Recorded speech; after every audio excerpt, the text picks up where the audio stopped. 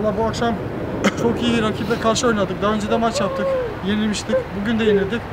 Ama skora baktığın zaman ortadaydı maç. Ama rakip takım biraz bizden daha iyiydi.